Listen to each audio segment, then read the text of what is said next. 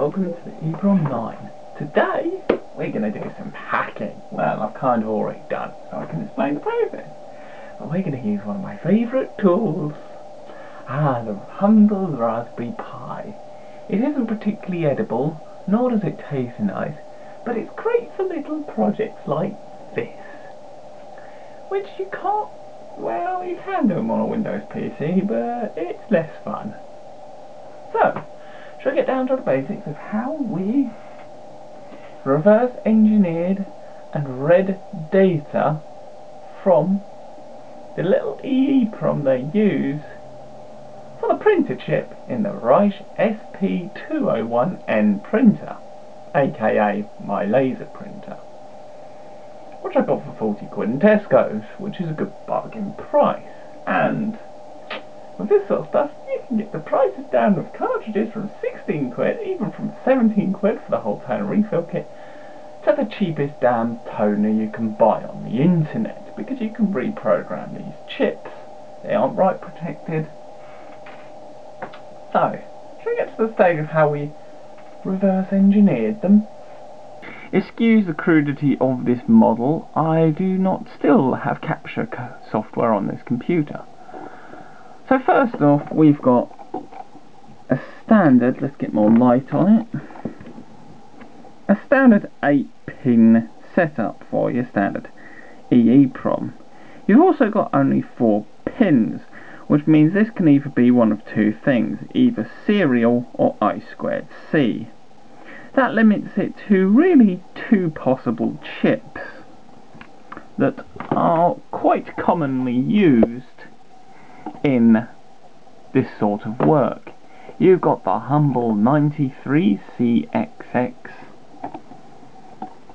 chip and a camera can't focus to save his life. There he goes. It's figured it out. Which is a humble little chip it is. And I built a reader for it many years ago that works. Plugs into the parallel port of DOS computers and whatnot. The other candidate was, of course, the 24C32. Now, first off, finding the negative was not difficult. It's the positive, it's not difficult. It's the same on both, which gave a good reference. But I found the negative and positive, the positive matched the positive of the 24CC 24 chip and the negative also did. So that put it here.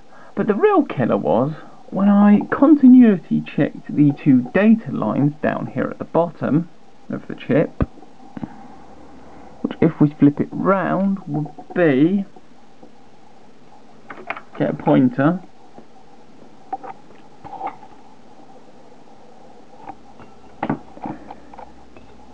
would be these two bottom ones here, they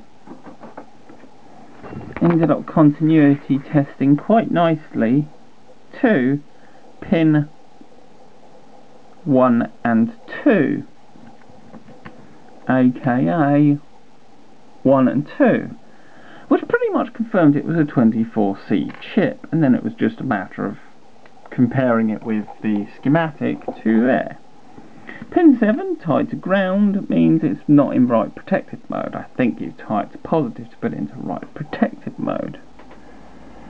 So the next case was actually, seriously, it's literally that easy. Find your positives, negatives.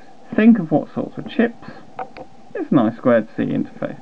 Then it came, what is compatible that I own, that I have in the house right now, that is compatible with the I squared interface. Ta-da! The humble Raspberry Pi, of course, because these things are awesome.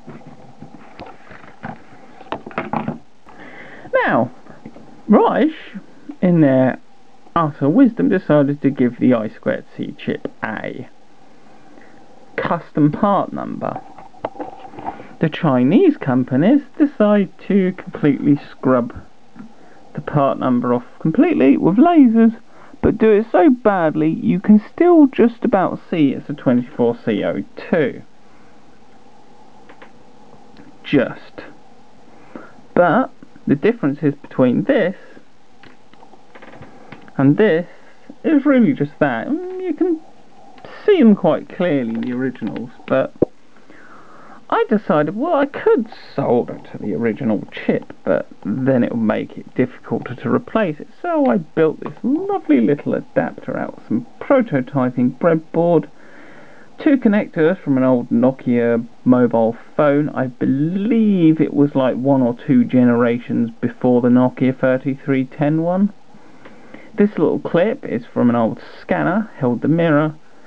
Didn't take the solder directly, so I had to do this clever solder blob technique, but of course it soldered onto the um, helping hands, so I had to heat it up and let it drop off. Oh yeah, it took a while, label the pins, and we have our hardware interface.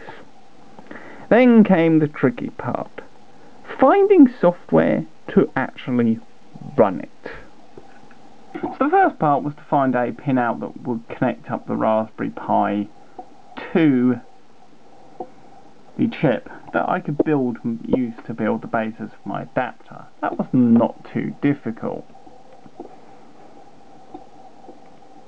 The next real point was configuring it, which was found through this library. I will try and put all these into links for you, but I will link to the Facebook, my Facebook page, which has all the detail and information and discussions. It goes into a lot more detail than I can here. But you know, you have to go into all the specialist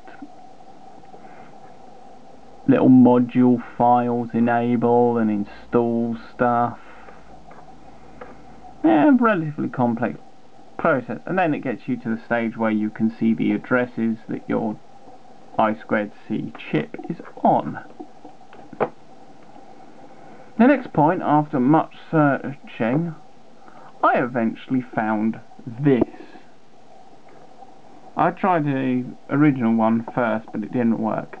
This is, if you want to read a nice squared C 24C XX chip, this is the software you need. The other thing did not work. I mean, yeah, being typical Linux, and Linux being typical Linux,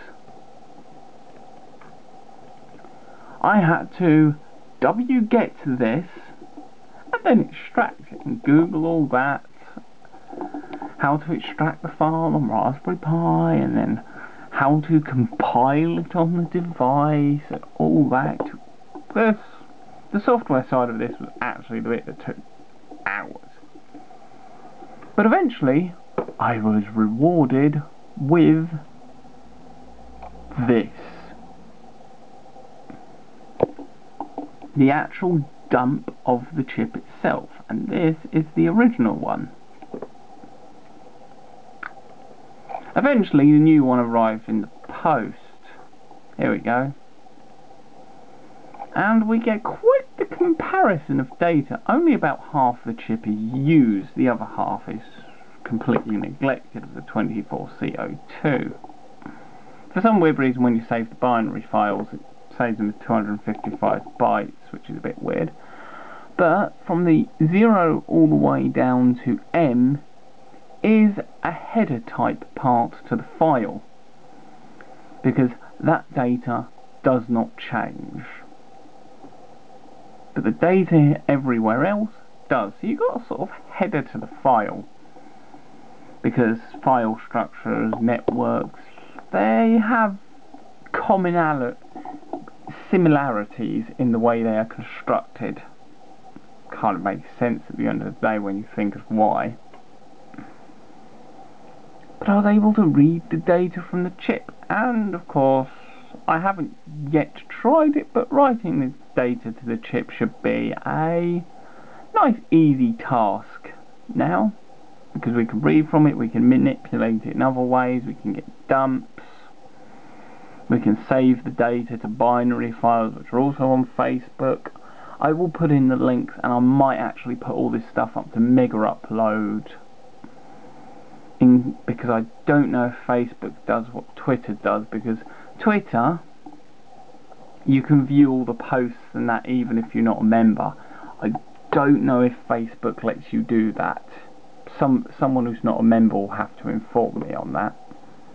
But that was the process of basically reverse engineering the chip. And boy oh boy, it was a challenge, but the hardware side was the easy part. It was the software side that was the challenge because finding libraries to do all this stuff is quite a challenge. Links will be in the description. I'm going to post them in here so I can find them easily. All the stuff you will need if you're going to try this yourself. Just be vigilant, use Google, and find someone like Ash who's also very techy to help you out. Thanks for watching. Hope you enjoyed. Reverse engineering is a fun